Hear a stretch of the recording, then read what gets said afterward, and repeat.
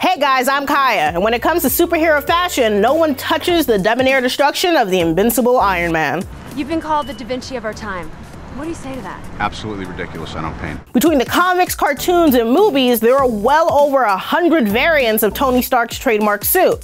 That's way too much ground to cover in a 10 minute video. So in this episode of Yellow Spandex, we're sticking to the 48 armors depicted in the Marvel Cinematic Universe. This is how you've been managing your downtime, huh? Everybody needs a hobby. Let's see how the Golden Avenger evolved over Marvel's decade of on-screen dominance and see how Iron Man's armor made a mark on the MCU. In the comics, Iron Man's suit was always made of metal, but it was depicted as clinging to his muscles like skin-tight spandex.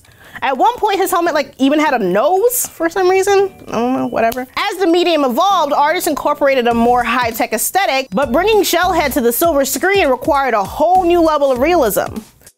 Even with Professor Yinsen's help, the Mark 1 armor isn't much to look at.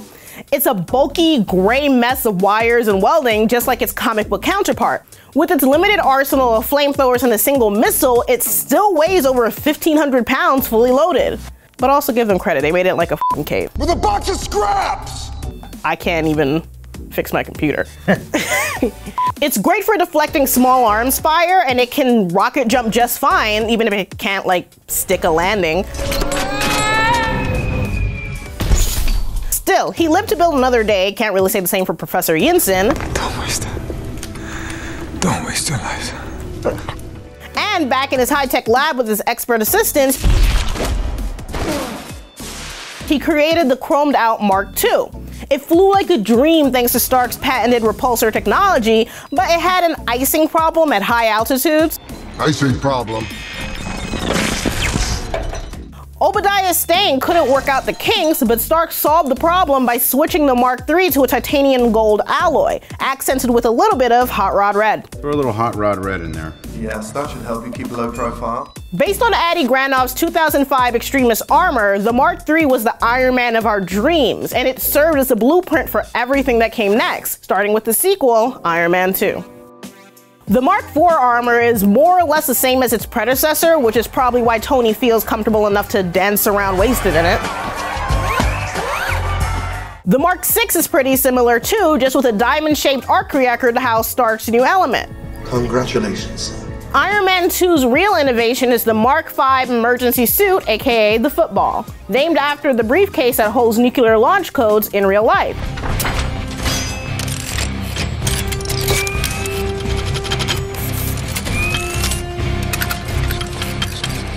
The Mark V is an homage to the comics where Tony's standard costume was small enough to carry in a suitcase.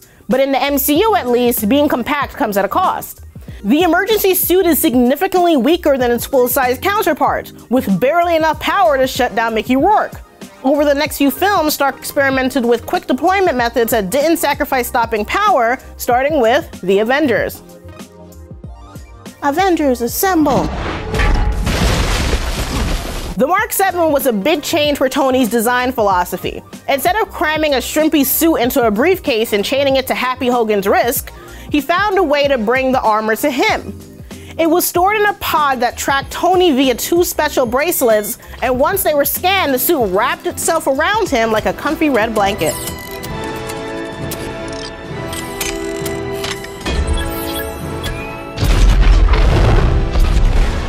It was still in a prototype phase during the Chitauri invasion, but Tony put it to the ultimate stress test and it passed with flying colors. Literally, he was even able to survive like the vacuum of space. The Mark 7 was a major step up, and just like the classic Mark III, it became a base that Tony built on for future iterations, like the many, many armors we're introduced to in Iron Man 3. Tony has a unique method of dealing with his PTSD from the alien attack. Sir, may I remind you that you've been awake for nearly 72 hours? Focus up, ladies. Good evening, and welcome to the birthing suite. Instead of going to therapy or just getting an adorable little service dog, he locks himself in his lab, pumps out dozens of new armors, then pretty much does nothing with them. That's stupid, isn't it? So stupid. At least until the Mandarin tries to kill the president. Then he activates the house party protocol and summons the Iron Legion to his aid. What are you waiting for? It's Christmas. Him church. Now, there are over 30 armors in this scene. It's dark as hell, and most of them are only on screen for like a frame or two, but there are definitely some standouts, like the Mark 33 based on the Silver Centurion from the comics, Mark 40, the shotgun armor, Mark 17 and 35, or as Tony calls them, Heartbreaker and Red Snapper, and of course, Mark 38, aka Igor. Tony's main suit throughout the film is the Mark 42, a glitzy gold number that's the apple of its daddy's eye. The prodigal son returns. Ultron is jelly. Every single piece is fully capable of flight, and thanks to chips implanted in his arms, Tony can summon them from anywhere in the world, at least in theory. Here it comes. Three, four, Shut up. five, four, three. Told you. Sadly, 42 doesn't survive past the prototype phase, it self-destructs around Aldrich Killian, and the rest of the Iron Legion gets wiped out by the Clean Slate Protocol. Tony has finally realized he's more than just a man in a can and destroys billions of dollars worth of tech with a single sentence. Screwed, it's Christmas. So that's it, the end of Iron Man, right? Bring on Riri. Well, not so fast, true believers, because Tony was back on his bullshit by the time Age of Ultron rolled around. The Mark 43 is basically a perfected version of its predecessor with a more traditional candy apple color scheme. Nothing to write home about, but the suit's got a secret.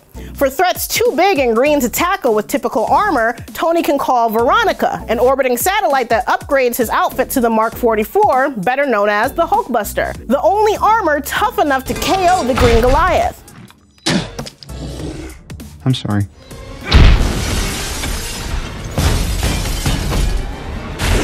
Well, Tony still had to like drop a skyscraper on him at first, but it's still some serious hardcore hardware.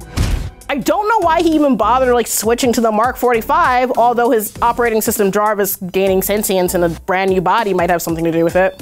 And it's like, yeah, Windows 95 is like, I'm out of here. I'm out of here. yeah, I'm gonna go. I'm, I'm going to Amsterdam and just kind of explore myself. I'm trying to discover myself, Tony. Leave me alone, Dad. With his Girl Friday installed in the firmware, Good evening, boss. Tony's new armor helps stop Ultron and save Sokovia, but battling his best friend required another upgrade for Civil War. During his clash with Cap, Tony debuted the Mark 46 based on his Bleeding Edge comic costume. This baby's got backup arc reactors, a state-of-the-art fire extinguishing system, and a fully retractable helmet, which means Robert Downey Jr. can wear even less of his costume on set. But for all its bells and whistles, the tag team of Cap and Bucky still made Tony tap out.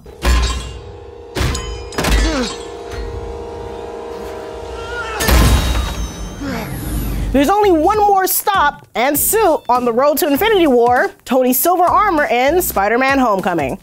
The color scheme is a tribute to Tony's ultimate incarnation, but it stops short of the mecha inspired design. It's pretty much a repainted version of 46, which makes sense. I mean, this was Spidey's show, and Tony wasn't trying to steal the spotlight with some flashy new armor. I mean, hell, he's barely inside of it for most of the movie. It's never too early to start thinking about college. I got some pull at MIT. And call. Mr. Stark is no longer connected. That's not going to be the case this summer, where Tony takes center stage in the fight against Thanos in Infinity War.